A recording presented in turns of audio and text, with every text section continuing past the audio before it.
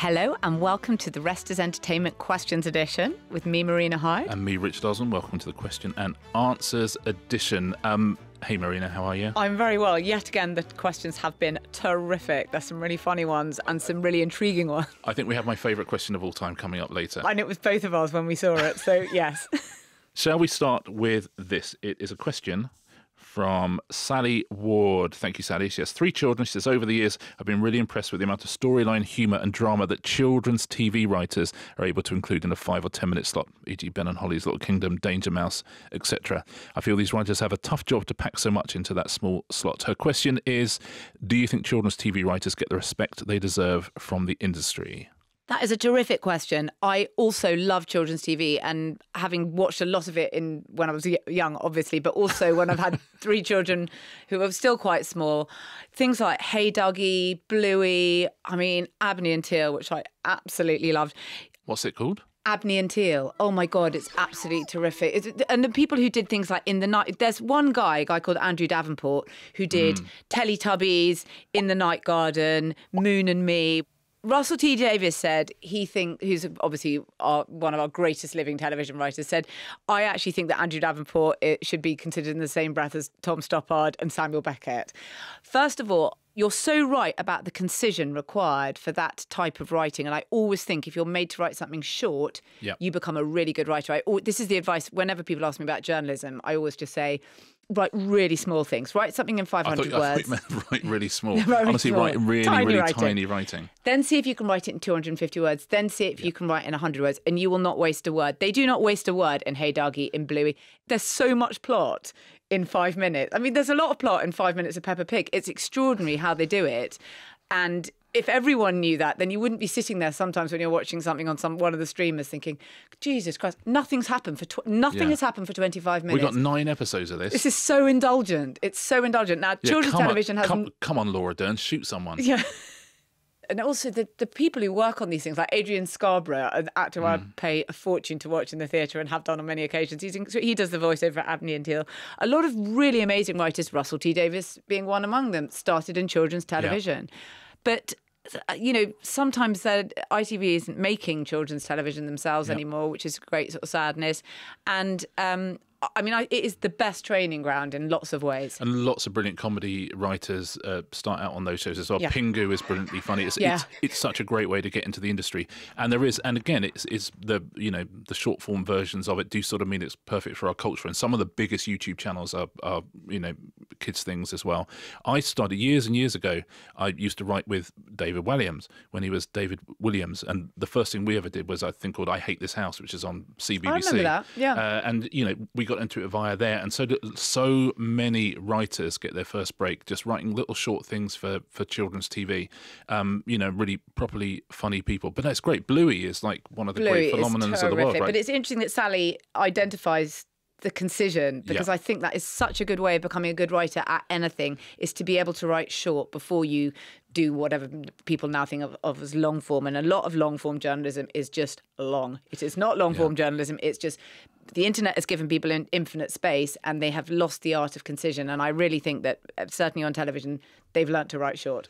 Yeah I say to anyone writing books as well if you're editing a scene lose the first four paragraphs. Yeah you know, come in as late as possible. Always, always come, in as late as possible and come out as early as possible. Yeah. And uh, you know, people will just keep on reading to the next chapter and the next chapter. But yeah, kids TV Sally, you're absolutely right. Genuinely, it's it's it's an it's an underappreciated treasure and has been for many many years.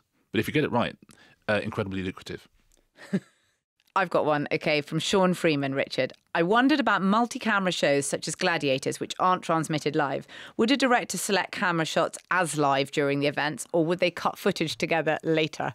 The answer is both. So if you're making gladiators, you know the shots that you want. You probably I don't know how many cameras they'd have on that, but even on a panel show, you've got six or seven cameras. They've got a lot of cameras because yeah. they have so many reactions, and they've got lots of fixed rig cameras yeah. and, and all sorts of things. So a director knows roughly what's going to happen. They've done rehearsal, so he knows what a game is like. He knows they're going to go from Bradley at the beginning, and then they're going to go up onto the podium, and then there's going to be a fight, and then one of them's going to fall down, and then there's going to be another interview. So he's got yeah. a rough idea of the geography of what's happening. He sits next to someone called a vision mixer, and the vision mixer has the output of all of the cameras and that's when the director's working out that camera four, which has got to get the big high shot, it actually needs to go to the left because you're missing something there. So the director is constantly working out where those cameras are pointed. The vision mixer is doing a live cut of the show as it goes along. So roughly what you would be watching on TV is what the Vision Mixer does. But then all of that footage goes into the edit. So you've got that, that master, which is the, the Vision Mixer is put together with, you know, the director calling out various shots. Um, so you know if duel is taking place uh, and you need to cut three seconds out of it that's an edit and the edit of course you've got to go to a different camera shot so when you're in the edit you've got all the footage from all those different cameras you've got your sort of master which has been cut in the studio Yeah. and you drop in fun reaction shots from the audience or you know if there's a brilliant reaction shot from one of, the gladiators so you're always looking for interesting shots which weren't put into the um, cut in the studio so it's an incredibly time consuming um, process that. Funnily enough, uh, we talked about AI last week. I was talking to a very big entertainment producer, and I said, "What in entertainment? Where where's the first place we're going to see AI really make an impact?" He said, "The edit." He said, "The edit AI will be able to sort of drop in all of those shots that you want almost instantaneously. So that first cut of a show." Is going to be done incredibly quickly. God, So- I remember people saying right back in the, you know, when X Factor or whatever was in its absolute pomp and it was, you know, you were almost watching something created by the sort of karaoke Leni Riefenstahl. And he had, Cowell had each quarter of that show had fo- had its own edit because it was he, he was so you know the, the milking of emotion this is why I bring in Leni Riefenstahl the the sort of dealing with the, the trying to make it tug on every nation's heartstrings everyone to react in exactly way, the way he was managing them into Yeah, yeah.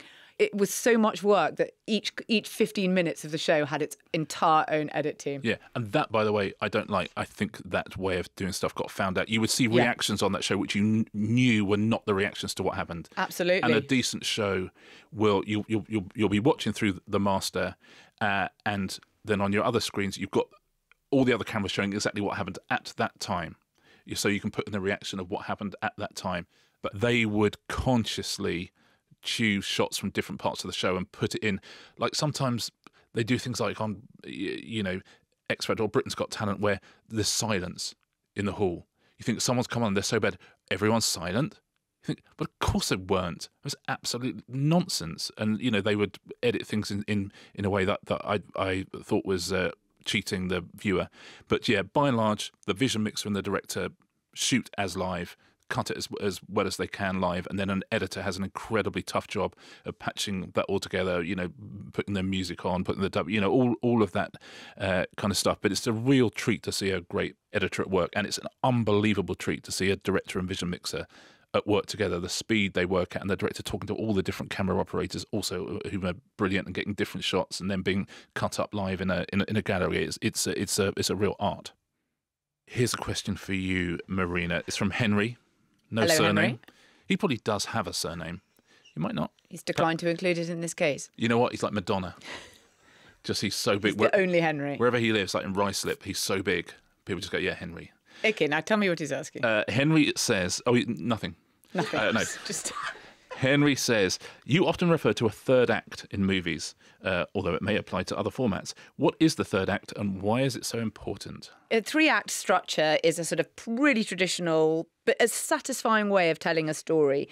So, uh, in the most traditional sense, you would have the setup, act one, a sort of confrontation, struggle. Act two and third act is the resolution. So when we talk about why the third act, if we don't like the third act, it's a bit of a problem because it's the tying up of the film. Um, so, but- fir- so first act, we meet people, we see where we are, we see what the situation is. People have done interesting things with this, like famously the sort of Hollywood producers Don Simpson and Jerry Bruckheimer in the 80s, um, with their sort of high concept movies, really refined and pushed this structure so it was you can almost physically feel it happening. You've got like in a very hot first act, um, then a second act with a crisis, and a third act with kind of redemption via triumph, and probably in the case of their movies like I don't know.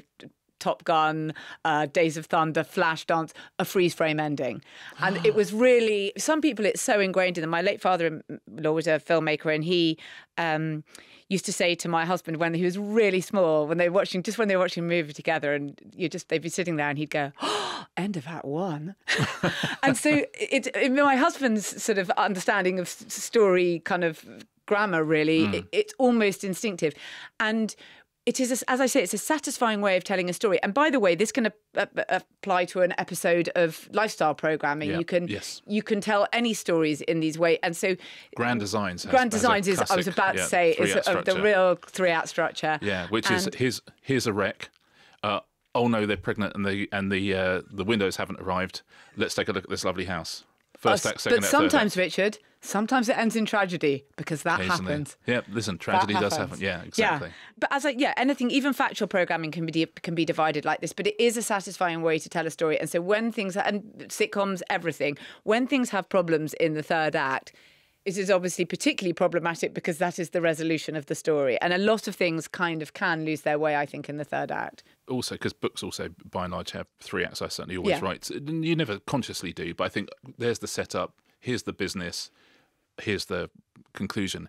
But I'm quite good with Act One and Act Three. But Act Two is one. Sometimes you think, okay, I've, I I know where we are. I know the situation. I know the characters. I know where we're going to end up. And there's this big sort of set piece type thing. And they think, ah, there's fifty thousand words in between those two things, and that's where the fun of writing comes. Is sort of working your way through that second act. But yeah, but once you sort of know that structure, you see it absolutely yeah. everywhere. It's a good way of testing yourself as a writer. The um, brilliant TV writer Bryan Fuller, who did sort of Hannibal, who's done lots of Star Trek. He's an amazing TV writer, really kind of eccentric genius. And he uh, said to me once that, oh yeah, if I ever I've got a way of that I think with Act Three would end, I always say, right, I'll take that and I'll put it at the end of Act One.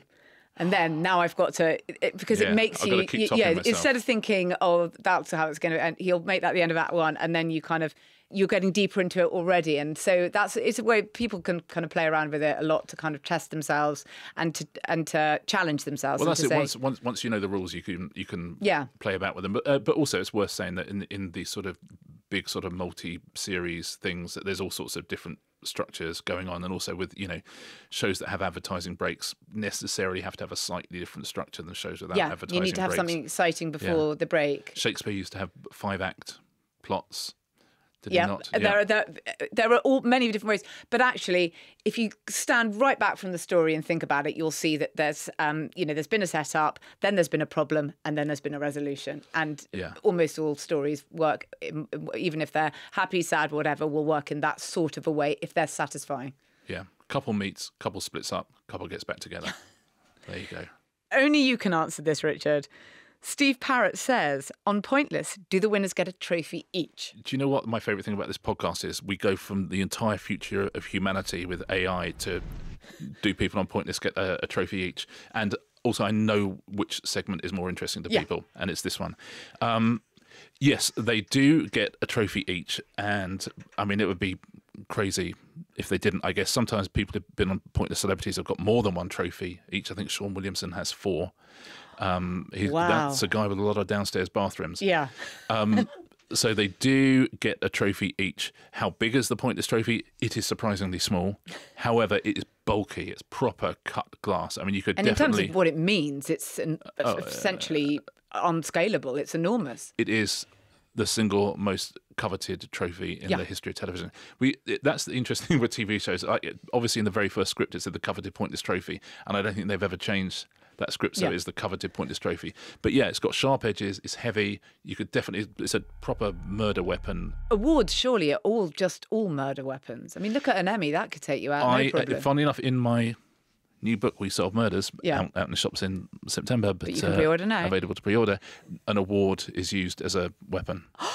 How about that? That's a world exclusive. Very Yeah. exciting. Yeah. Okay, yes, because if you've ever And it's- and it's- anyone you're ever holding, you're thinking this is simply the sharpest and most dangerous and pointlessly heavy thing that there is. Yeah, so that's spoken to someone who's held a lot of awards. I mean, I, um, but yeah, so you get uh, yeah, you get one each, but you only get half the money. So, you know, That showbiz. Yeah, that, it, really is showbiz.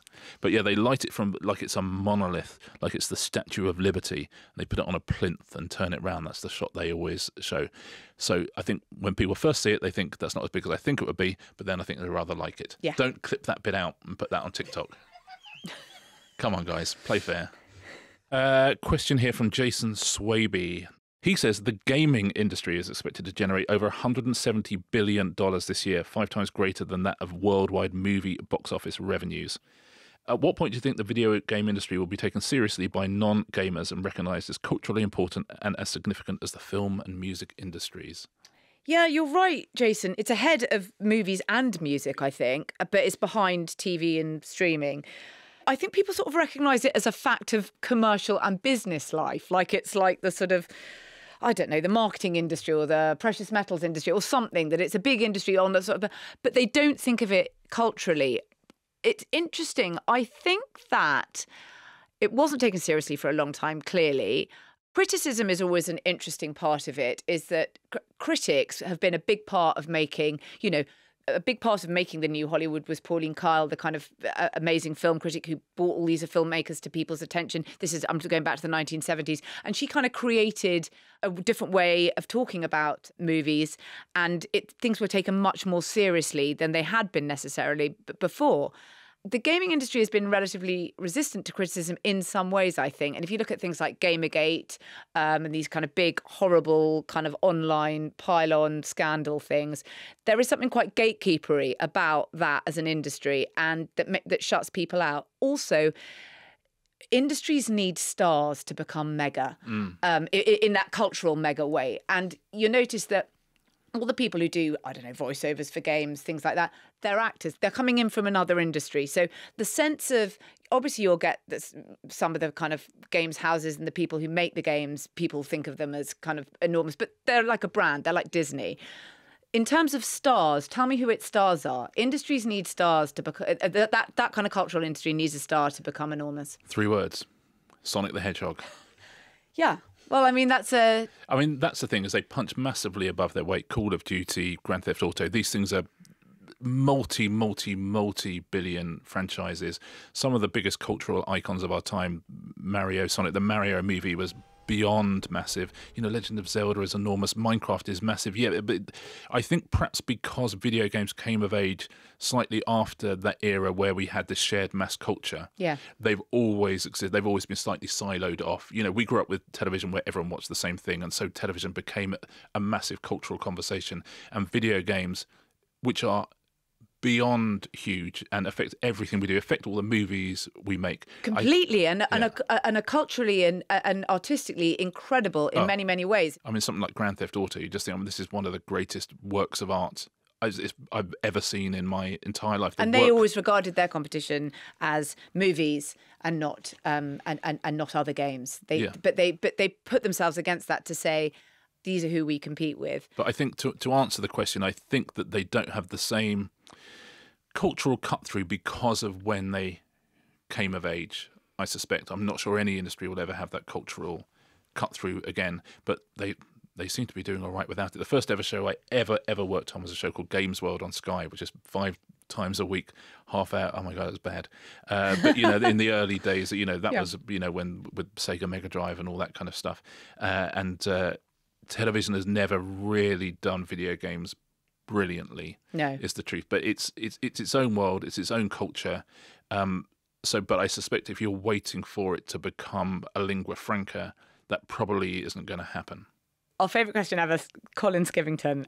When a character in a TV show or film throws something into a river or the sea, are the production team obliged to retrieve it? Or do they get permission or just do it anyway? I remember an episode of Luther where Idris Elba threw something into the Thames and I thought, surely you can't do that. Colin, epic. Thank you. That is, yeah, I mean, genuinely, I hadn't thought about it before.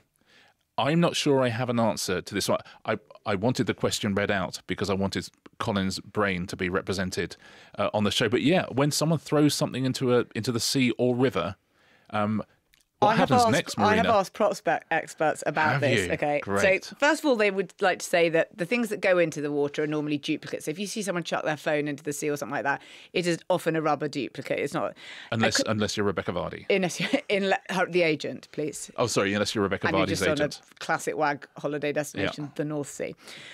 Uh, anyway, if you, if a car goes in, it's had its engine, any oil, anything else like that removed. It has to have before it goes in, and obviously they have to retrieve that. Some things degrade if it's photographs or paper. You know, people chucking a photograph into the sea. You can see kind of you you know this kind of visual lexicon of oh, shots. Oh, like someone on the back of a ferry just tearing up like a wedding photo. Yeah. And just throwing it over into the the, side. wake.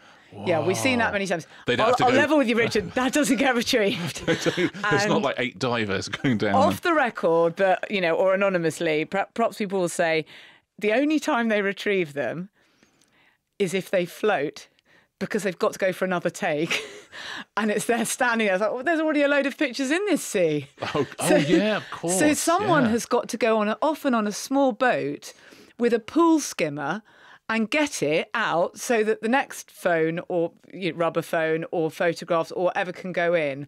And if Who's it doesn't throwing sink, something they float that floats? well, I mean, photos float. You've just described a situation where you rip up the photo and, you know, that will float. Someone's got to go in, and then they've got another photo of her that's going to get ripped up again. They might do it 10 times, you see. So you need the pool skimmer, you need the guy in the boat, or it might be a lady. If I was the director, I'd say, you know what? Actually, throw it in the bin. Actually, just just just put it in the bin. But there are a lot of props at the bottom of sea and uh, of river that have simply not been retrieved because you're not going to get a diver to go down there to get, you know, the phone, the rubber phone that you've thrown in. If they ever send divers down there, they'd be able to arm a small country.